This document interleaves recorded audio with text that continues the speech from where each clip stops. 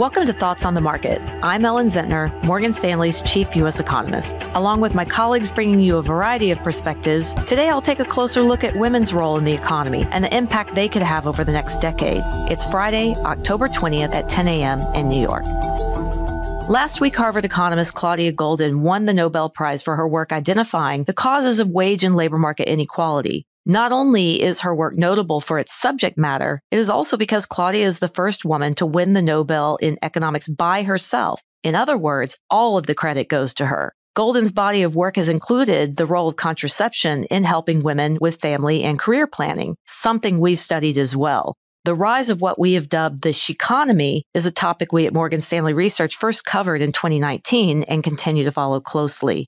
First, some context. Today, women are having fewer children and earning more bachelor's degrees than men. The median marriage age for women has increased, as has the age at which we first start bearing children. These shifting lifestyle norms are enabling more women to work full time, which should continue to increase participation in the labor force among single females. In 2019, we estimated that the number of single women in the U.S. would grow 1.2% annually through 2030, and that compares with 0.8% for the overall population. Based on these calculations, by 2030, 45% of prime working age women will be single, the largest share in history.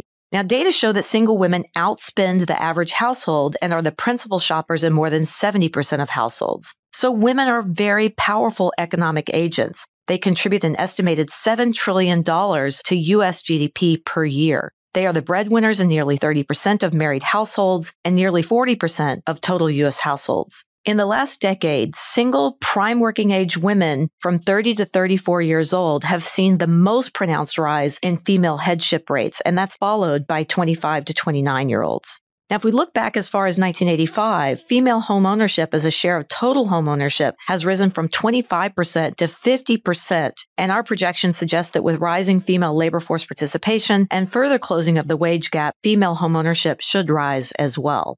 So the profile of the average American woman is also changing, whereas the average American woman in 2017 was white, married, and in her 50s, holding a bachelor's degree and employed in education or health services. We think that by 2030, she is more likely to be younger, single, and a racial minority, holding a bachelor's degree and employed in business and professional services. Indeed, over the last several years, gender diversity, the male female wage gap, and women's role in the workplace have rightly been a key media and social topic and something that we at Morgan Stanley are very passionate about. And for women, these public discussions have set the stage for equality in areas like education, professional advancement, income growth, and consumer buying power. We've come a long way, but it's important to underscore that more work remains to be done. Looking ahead, women are in a position to drive the economic conversation from both the inside as a workforce propelling company performance and the outside as consumers powering discretionary spending and GDP.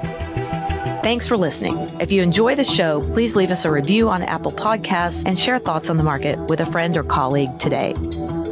The preceding content is informational only and based on information available when created. It is not an offer or solicitation, nor is it tax or legal advice. It does not consider your financial circumstances and objectives and may not be suitable for you.